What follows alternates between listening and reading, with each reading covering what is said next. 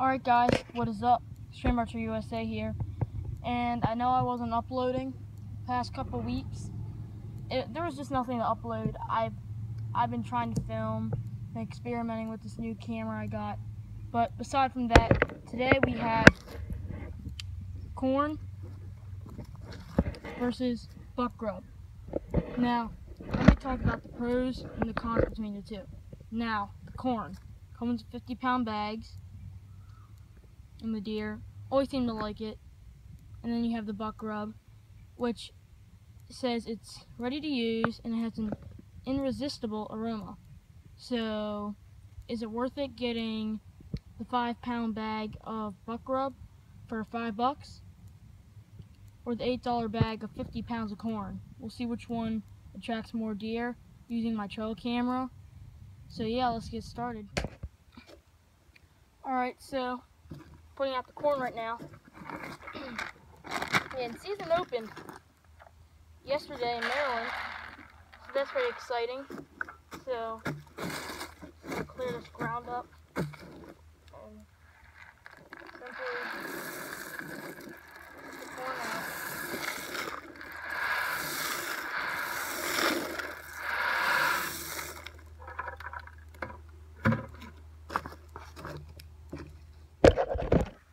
Alright, now we got the buck grub right here.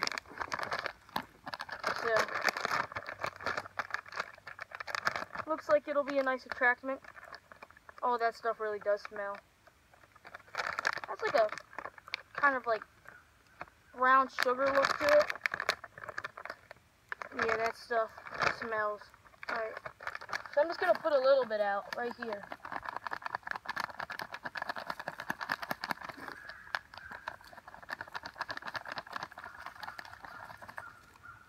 Because I don't want to use the whole bag because uh, I'm going to need it for more hunting.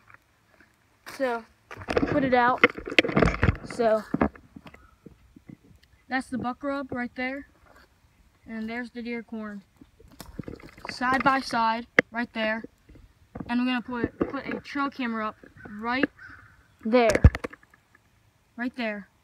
I'm going to see if we get any pictures. So I'll follow up with that in one week when I finish this video.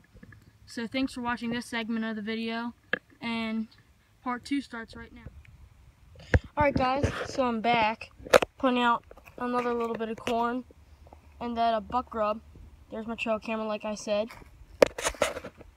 Be put right there. Looking out over the corn, and then the buck grub. So, let's go check them out.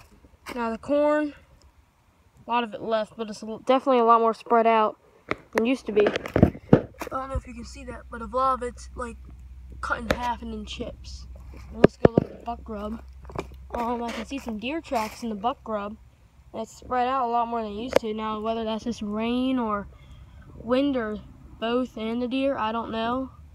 We'll figure that out. Pulling the card. I mean, I just pulled it. So we're going to go back and put it in the computer and see what we got. So um, stay tuned and I'll show you the videos and pictures that I get.